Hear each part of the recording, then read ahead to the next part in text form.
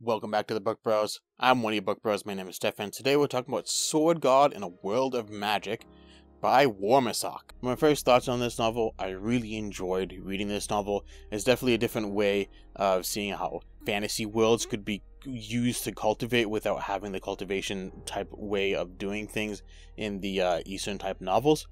So it's really fun to see, especially when he can't use magic, he has to actively find a different path than everyone else is expecting him to follow to go up the way so God just doesn't smite him essentially being like you have to get up to my point and fight me without using the main path that the main magic god essentially destroyed with everything else.